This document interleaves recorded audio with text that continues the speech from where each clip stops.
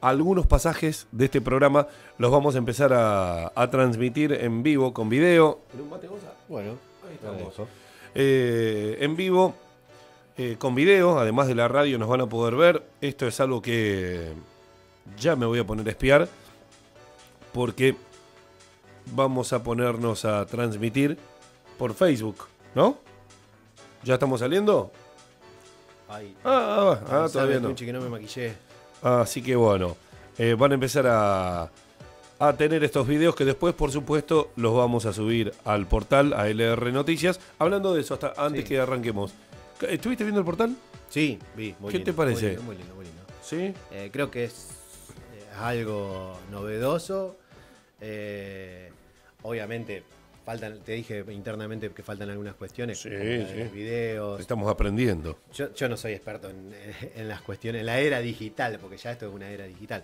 Pero, por ejemplo, los GIF y, y demás, esas cuestiones yo no las manejo, pero es como que le falta eh, un poquito de animación al, al- al Le- portal. Pero, le falta movimiento. pero tiene muy buenos contenidos, que es lo fundamental. Y bueno, y hacia allá vamos, y le vamos a ir agregando entonces. Eh, las columnas habituales vamos a tratar de hacerlas así, charladas, y, y para que la gente la vea aparte.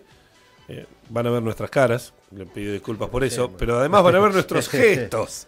Ese Que- es un tema. que ese A- es otro tema. mucha atención a, lo- a los gestos. porque Exact- muchas veces eh, dice mucho más un gesto que, que- Exactamente. que una frase, ¿no?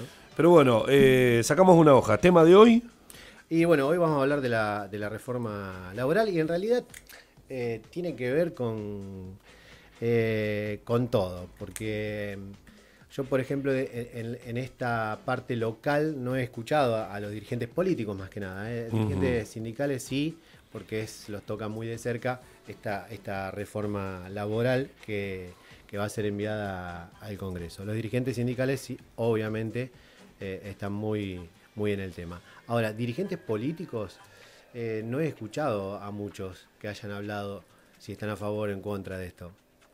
Y uno presume mm, por cuestiones eh, de lineamiento eh, que San Lorenzo estaría en línea con el, con el gobierno nacional. Puerto me parece que no. Y, y- y paremos de contar. Eh. Me parece que ahí, está eh, en lo que sería cuestiones políticas dos líneas bien marcadas, tanto San Lorenzo como Puerto. ¿Qué es esto, esto que, que estamos hablando hoy de la reforma laboral? Bueno, básicamente a mi criterio es volver el tiempo atrás, precarizar y, y me parece que los más perjudicados van a ser los, los empleados. Los empleados van a perder una cantidad enorme de derechos. Y te estoy hablando, hoy, hoy por hoy me toca estar de- del otro lado, de- claro, del otro lado del mostrador. del otro lado del mostrador, tener empleados eh, y, y en definitiva, si dice, y, pero a vos te va a beneficiar, sí, me puede llegar a beneficiar en algo, eh, más que nada en, en- en lo que es posterior a, a un despido de un, de un empleado que ojalá nunca le... Sí, sí, que uno nunca le- quiere. Que nunca quiere, ¿no? Eh, pero me parece que van a perder muchísimos derechos eh, los empleados con, este, con esta reforma. Y, de aquí se desprende una cuestión que me parece que vamos a estar eh, de aquí hasta que se apruebe o no se apruebe esta reforma laboral, que para mí es lo que se viene en materia de, sindicatos. Eh, ¿Se acuerdan que Macri, el presidente Macri habló mucho del sindicalismo argentino, de que hay 3.600 gremios, eh, que solamente se sientan en la mesa 600? Bueno, Sí. para mí, de, esta, de este envío de reforma laboral se va a desprender la ruptura de la CGT. Pero vos decís que, que aparte van a, a quedar menos sindicatos, o sea, Yo- que, que se no- persigue que haya menos no va a representatividad haber gremial. CGT, no va a haber central. Eh, me parece que se va a atomizar y, y es, que es lo que está buscando el gobierno para mí. Por ejemplo, ya Camioneros, con Pablo Moyano a la cabeza, anunció un paro para el 6 de diciembre, junto, Sí. junto con eh, la bancaria. Que es el gremio de, de bancarios. Ahora, si uno se remite a lo que dice la CGT, que es eh, Daer y compañía, eh, están de acuerdo con esta, con esta reforma laboral, Pero, pero con algunos puntos a cambiar. Me parece a mí que es lo que está tratando el gobierno, de buscar ese enfrentamiento entre las centrales obreras para poder sacar rédito de ello y de esa manera tratar el, la reforma en el Congreso rápidamente y tratar de sacarla como para, para que se pueda aprobar. Está bien, ahora, puntos de la reforma, ¿se conocen oficialmente? Eh, Porque ese es el tema. Sí, acá hay, hay algunos de los puntos que, que, serían eh, las modificaciones básicas. Por ejemplo, la, la, flexibilización de la jornada laboral. Ya de 8 horas no vamos a hablar más. Y de horas extras no vamos a hablar más. Ajá. Ahora vamos a hablar de un banco de horas y de una jornada laboral un poco más extendida. A ver cómo se entiende, banco de horas. banco de horas, bien. A ver, hoy un trabajador, por ejemplo, eh, tiene ocho horas por convenio colectivo de trabajo. Sí, señor. Eh, eh, estamos hablando de ciertos trabajadores, porque por ejemplo camionero no tiene horas de trabajo, sino kilómetros y demás. Sí. Pero en algunos aspectos. tienen ocho horas de trabajo y se les paga las horas extras. Bien.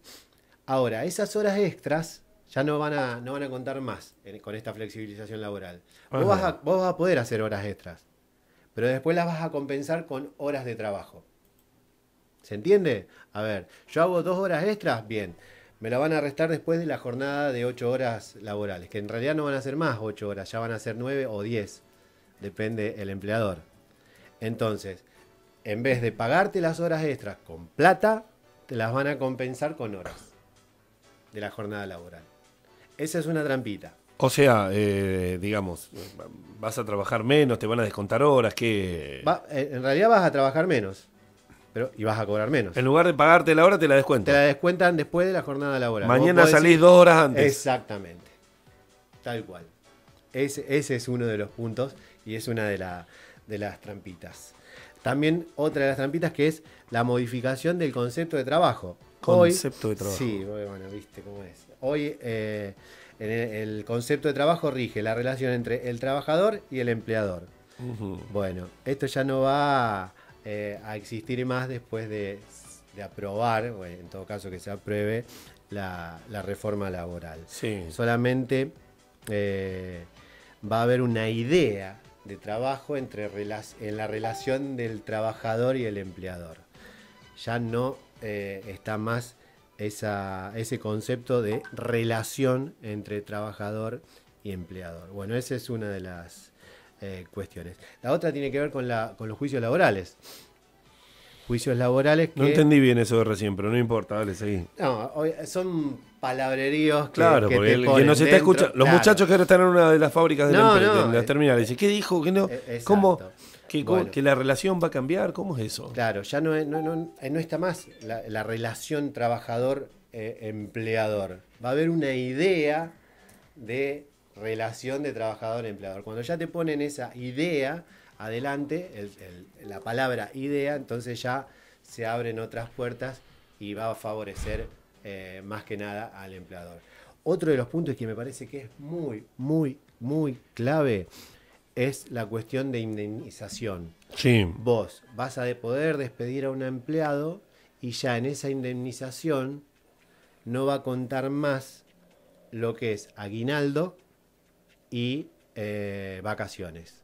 A ver, como para que se entienda, hoy por hoy vos despedís a un empleado y le tenés que pagar un sueldo por año, sí. más las vacaciones, sí. más eh, proporcional, de, aguinaldo. y bueno, y también el preaviso, eso ya es más una cuestión legal que, lo puede tratar al, algún abogado la, laboralista, laborista. Eh, ya no va a eh, entrar más aguinaldo y, vacaciones. O sea, y también va a entrar lo que es el despido sin causa. Hoy por hoy no se puede echar a alguien sin causa. Porque si no, entraría en juego la doble indemnización y demás. Sí. A ver, estamos hablando todo de una precarización laboral. Estamos volviendo el tiempo atrás. Es que ninguna reforma laboral siempre fue para aumentar el sueldo ni para darte más vacaciones. Y aparte, de hablar de flexibilización. Estamos hablando de flexibilización. O sea, ¿qué, hablas cuando decís flexibilizar? Estás hablando de doblar, doblar, estirar. Sí, sí. Bueno, esto es lo mismo. Estamos, vamos a poner en juego todos los derechos que han adquirido los trabajadores hasta el momento eh, por cierta ley que busca favorecer a los empresarios. ¿no?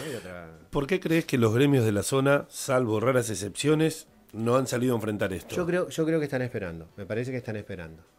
Eh, están esperando que, que entre al, al Congreso, eh, porque están hablando mucho de sentarse en la mesa, o por ejemplo se sentó la CGT en la, en la mesa, que hay algunos gremios de la región que no se ven representados por la CGT. Así es. Y, esto no lo digo yo, lo han dicho los propios eh, mm. sindicalistas. Pero me parece que están, están ahí agazapados. Yo creo que en la primera eh, beta que vean de aprobación, eh, hay muchos gremios que, van, a, van a salir a, la calle, como lo va a hacer Camionero y lo va a hacer la bancaria. Si hablamos de esos dos gremios, me parece que se va a parar el país el 6 de, el 6 de diciembre. Pero ¿qué pasa? Está todavía veremos. Se pospuso el ingreso al Congreso. Yo para mí lo que quieren hacer es que se están tomando tiempo, están midiendo, están midiendo tiempo, quieren sacarlo rápido antes de que ingrese el nuevo Congreso y también se habla y esto escuchen bien porque uno por ahí no, entiende. Te dicen sesiones ordinarias, sesiones extraordinarias. Eh, aparentemente el tratamiento lo quieren dar en sesiones extraordinarias. ¿Qué pasa? Las sesiones extraordinarias en el Congreso solamente las puede pedir el Ejecutivo, o sea, el presidente. No hay sesiones Claro, las extraordinarias las pide solamente. Solamente. Y esto va para todos. ¿eh? O una mayoría, de, del Congreso, una mayoría, no sé si simple o especial, pero tiene que ser. No, tiene que ser especial, pero no, no, lo, no, llegan al número. Entonces, si, el, si el, el, Ejecutivo envía el proyecto de ley, se tiene que tratar en extraordinaria todo esto tiene que ver, a ver, con la nueva modificación del, Congreso a partir del 10 de diciembre. No hay otro. O sea, estamos esperando en la nueva, la nueva conformación. Exactamente. Y esto también va para lo, que tiene que ver con, los consejos locales.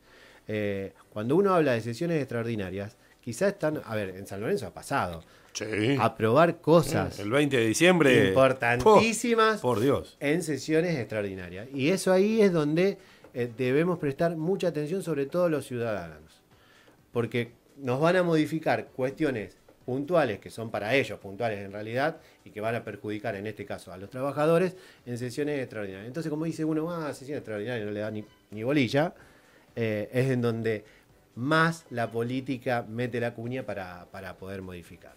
Gonzalo, muchísimas gracias. Eh, no, gracias a ustedes. Eh, te vas a poder ver en el portal de noticias oh. eh, esta charla en un, en un ratito nada más, va a estar subida en LR Noticias y se va a poder consultar a la hora que sea, el día que quieras. Le, agradezco y perdón que no viene maquillado, pero bueno. hay caras que no se arreglan, mira, ni ni Robial. necesito un poco de reboque fino. Puede arreglar algunas cuestiones. Dale, nos vemos, gracias. Gonzalo del Pino, columna política. Hoy, reforma laboral, falta un minuto para las 11 de la mañana. Enseguida regresamos. La radio. Cuando lo decidas, donde quiera que estés. 93.5. Comienzo de espacio publicitario. Responsabilidad.